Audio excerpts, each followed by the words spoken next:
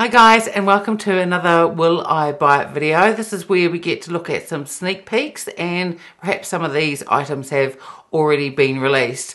I refer to different Instagram accounts of the ones that I follow and I highly encourage you to follow them as well. They give great insights and as I was just saying, sneak peeks into what is upcoming. And I've just moved over so I can put pictures of what I'm talking about just up here.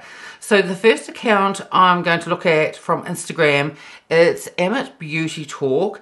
And on here, she has pictures of the newly released, it's the Byredo eyeshadow palette. Now, I'm pretty sure that this was released on the Byredo site, but I had a look there yesterday and I couldn't find it. So whether they just launched it for two or three days and then took it down or it sold out, I'm not too sure. If I can find where it is for sale, then I will have it listed down below. Selfridges normally stock this as well at some stage, so I imagine it won't be too far away from the Selfridges website. So this is an 18 shadow eyeshadow palette and it is neutral. It has both warm, cool and neutral tones. I think that this looks really beautiful. I do love my neutral eyeshadows and I have purchased a Byredo eyeshadow palette before, last year's one, and I thought it was really beautiful and I also thought the formula was really gorgeous as well. I think that there are a lot of different looks that you could do with this palette. It looks like there is some mattes, perhaps some satins, and maybe also some metallics as well. So even though that this is a neutral eyeshadow palette, I do think that it looks really, really versatile.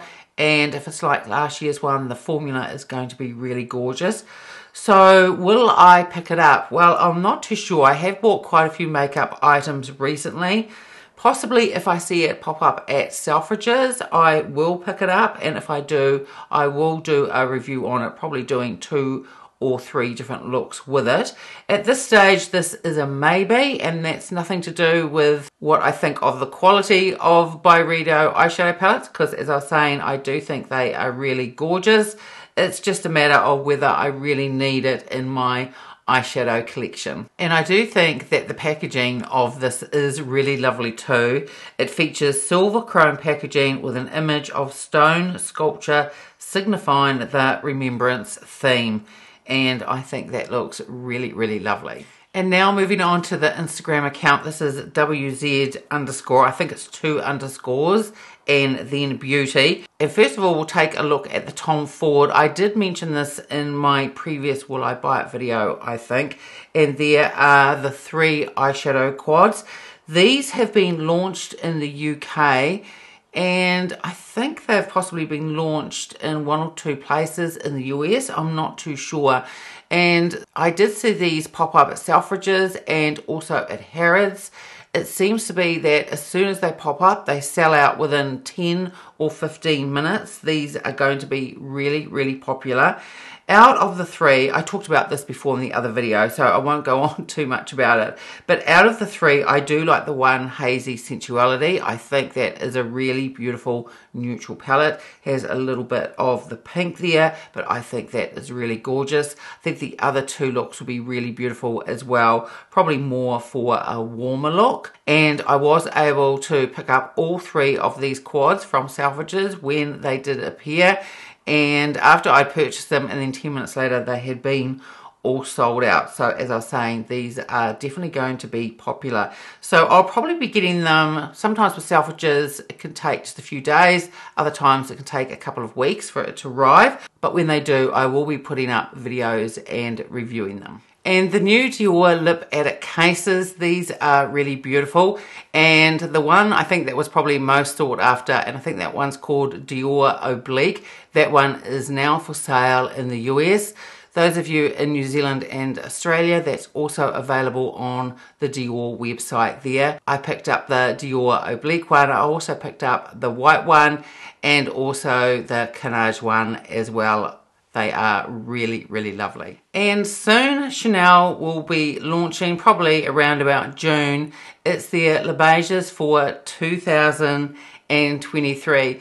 There has been some mixed reactions with this. Three of the products are the cream bronzers and these are re-releases but in a travel size. There's also the Les Beiges Illuminating Oil that was also released last year, but this year it is going to be in a travel size as well. There's going to be two new Rouge Coco Flash lipsticks in 174 Destination, which is more of a deeper shade, and then 176 Escapade.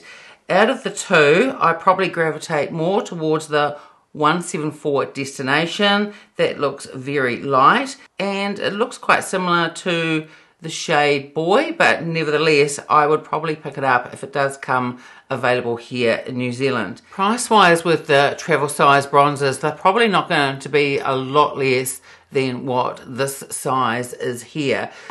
But if you're like me and you have quite a few different bronzers and you want to try these out or you want the smaller size for travel if you use them a lot, is that you're probably likely to get through them more than this bigger size before the expiration date. Now, I keep the cream bronzers longer than what they say from the shelf life that they have on their packaging but really I probably wouldn't keep my cream bronzers probably longer than two or three years. It's different with a powder product but with cream yeah I probably just wouldn't keep them longer than two or three years with the illuminating oil, I did purchase that last year and I have it on the shelf to the left of me here. And it is quite a big bottle. So if you didn't try that, I do recommend it. It is a really beautiful oil. It's more of a dry oil and it gives this beautiful, it's just a really beautiful sparkle on the skin. And it is quite a hefty type of bottle, the bigger one that was released last year. So I think the travel size would be really, really perfect. The other thing with Chanel releasing these, there are some people that are disappointed. From a business point of view, depending on when these travel sizes were manufactured, they could have been manufactured probably one or two years ago. And for a turnover point of view, if I was with Chanel and you wanted to try and sell these travel sizes to get the turnover of the stock for these travel sizes and the smaller illuminating oil, if you were to release an eyeshadow palette at the same time, the way that things are now with economies worldwide is that people would probably gravitate towards the eyeshadow palette and maybe think about picking up the travel sizes a bit later on. But when you release uh, Beige's collection and there's only two new Coco Flashes and the rest are the travel sizes, then it's more likely that people are going to purchase those travel sizes. So that's what I think their thinking is with this collection. I could be wrong, an eyeshadow palette may pop up. I did speak to my SA about two or three weeks ago about this upcoming Le collection and at that stage she wasn't too sure what was coming up and she did mention a couple of things and I told her that they were actually released last year. One was the Touch Foundation and the other thing were those water blushes. So New Zealand is finally going to get those, but they were released last year. She said that she was going to be getting a list soon and she would let me know what was on that. But at this stage, I don't know anymore whether this is it for the Les Beiges collection or there might be one or two extra things. And Tom Ford is coming out with some more products.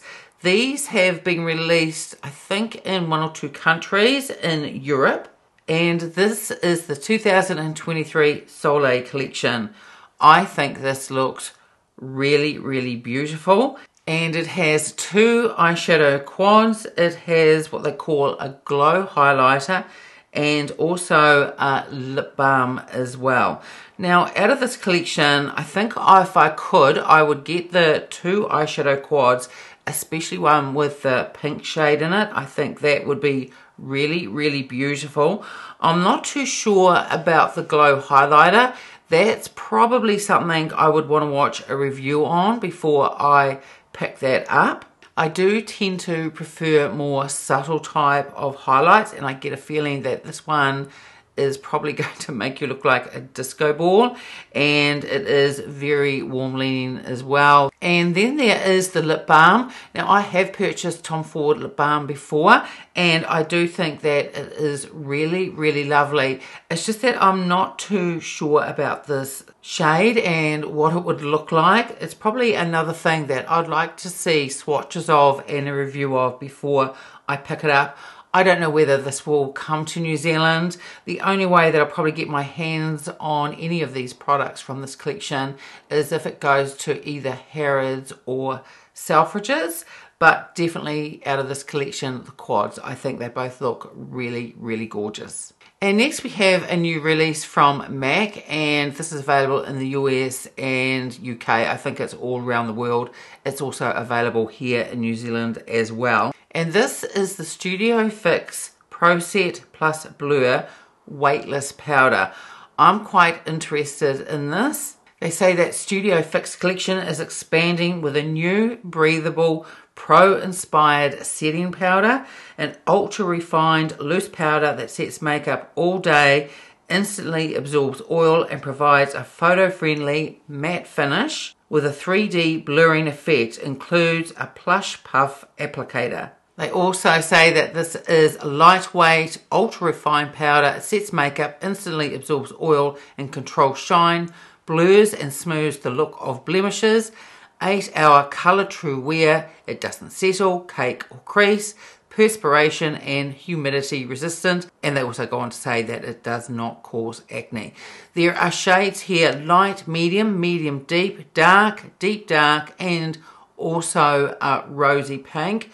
I have really oily skin and depending on how this powder works, it could also make some of the foundations that I have, which tend to be can be a little bit too glowy for my skin sometimes, but this powder could make it that they are a lot more wearable, not just in the winter months when it's cooler here. So even though my skin's still oily, it isn't as oily as in the summer months, but it also may help one of those foundations with my oily skin during the summer as well. So I'm pretty sure that I will pick up one of these. I'm in no rush to get it, but the next time that I do a shop, probably at Smith & Caughey's here in New Zealand, I'll probably pick one of these up. And when I do, I will do a review on it because not only do I want to see how it performs with my oily skin, I want to see how mature skin friendly it is as well. And Laura Mercier has just released some powders. It's called the Real Flawless Luminous Perfecting Pressed Powder and I'm pretty sure that this is for sale on the Laura Mercier site. Nordstrom also has these available as well. If this comes to New Zealand, I would be interested in trying this out. Even though I do have quite a few beautiful powders, I'm always on the lookout for the next best thing. They say that this is a pressed finishing powder that enhances the look of skin and makeup with a natural luminous finish instantly adding dimension and enlivening skin. They say it gives light coverage and a radiant finish. So whether this would be okay with my oily skin, I'm not too sure. And unlike the MAC powder, this is probably one that I would use since I have my oily skin with more of a soft matte finish foundation rather than a foundation that has a glowy finish because it would just make it even more glowy. But I am quite interested in this and this is one where I'd like to see reviews on it first. And like I was saying, if this does come to New Zealand, I may pick this up. So lots of beautiful new releases coming. Which ones are you going to get and which ones are you going to pass on? Let me know in the comments below. I always enjoy your comments on these types of videos. So that's it for today's video. I'd love it if you gave it a like and subscribed and I will see you next time. Bye.